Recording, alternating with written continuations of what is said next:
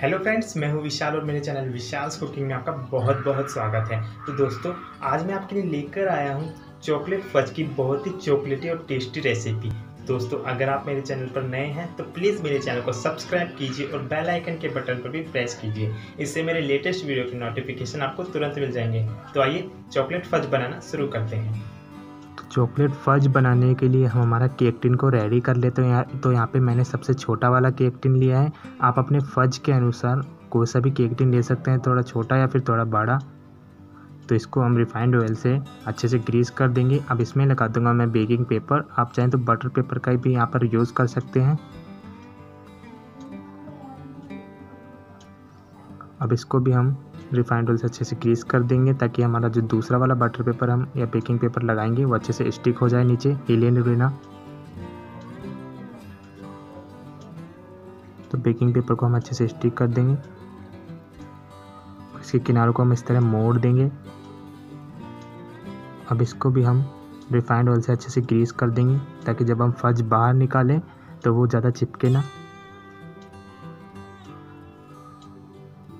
तो हमारा cake tin है फज के लिए रेडी हो चुका है। तो अब फज बनाने के लिए गैस को मैंने ऑन कर दिया और गैस की फ्लेम को मीडियम करके एक पैन को उस पर चढ़ा दिया है। इसमें डाला है मैंने हाफ़ कप कंडेंस्ड मिल्क अब इसमें डालूँगा मैं एक cup grated dark chocolate compound अब इसमें डालूँगा मैं एक कप मिल्क चॉकलेट कंपाउंड जो मैंने ग्रेट कर लिया है छोटा छोटा अब इसको हम मीडियम फ्लेम पर इसी तरह कुक करेंगे जब तक कि हमारा जो चॉकलेट है वो अच्छे से मेल्ट ना हो जाए और हमारा जो ये मिक्सर है वो गाढ़ा ना हो जाए। तो इसी तरह हमें इसे मीडियम फ्लेम पर चलाते जाना है और इसे कुक करते जाना है। तो धीरे धीरे हमारी चॉकलेट वो मेल्ट होने लग जाएगी। तो आप देख सकते हैं धीरे धीरे हमारी चॉकलेट है वो मेल्ट हो रही है। तो इसी तरह हमें सारी की सारी चॉकलेट को मेल्ट कर लेना है कुक करते हुए।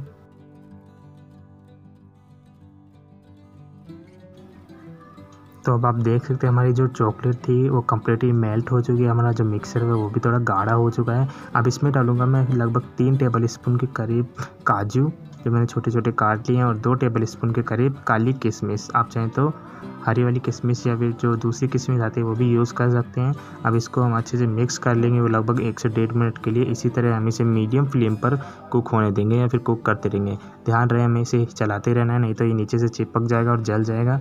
तो हमारा जो फज का बैटर या मिक्सर है, वो बनकर तैयार हो चुका है। अब इसको हम ट्रांसफ़र कर देंगे उसी केक टिन में जो हमने रेडी किया था।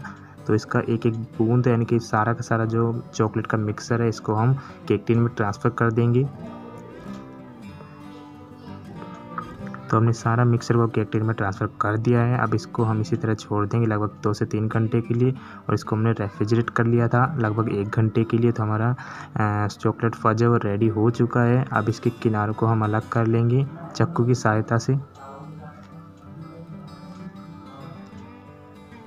तो चारों तरफ़ से हमें इसके किनारों को अलग कर लिया है। अब इसको हम सावधानी से बाहर निकाल लेंगे। तो अब इसका जो बेकिंग पेपर चिपका हुआ है, इसको हम अलग कर लेंगे चारों तरफ़ से। इस चॉकलेट फ़र्स्ट से हम बेकिंग पेपर को अलग कर देंगे।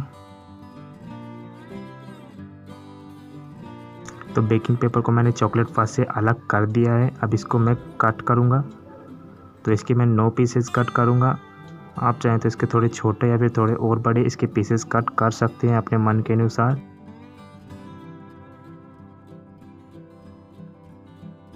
दोस्तों, जब आप इसे काटेंगे तो इसमें काटने में आपको थोड़ी सी दिक्कत आएगी, लेकिन जब आप इसे खाएँगे तो एकदम मुँह में घुलने जैसा लगेगा, बहुत ही टेस्टी लगेगा। तब इसके ऊपर मैं डस्ट कर दूँगा थोड़ा सा चॉकलेट पाउडर। तो ध्यान रहे दोस्तों, ये चॉकलेट पाउडर है, कोको पाउडर नहीं है। ये वो वाला चॉकलेट पाउडर है जो हम कॉफ़ी में ऊपर से यूज़ करते हैं। तो कोकर पाउडर आप ना डालें, वो कड़वा होता है। तो दोस्तों, हमारा चॉकलेट फज है, वो रेडी हो चुका है। तो दोस्तों, अगर आपको ये वीडियो या रेसिपी पसंद आई हो तो इस पर लाइक का बटन ज़रूर दबाएँ और मेरे चैनल को सब्सक्राइब ज़रूर करें।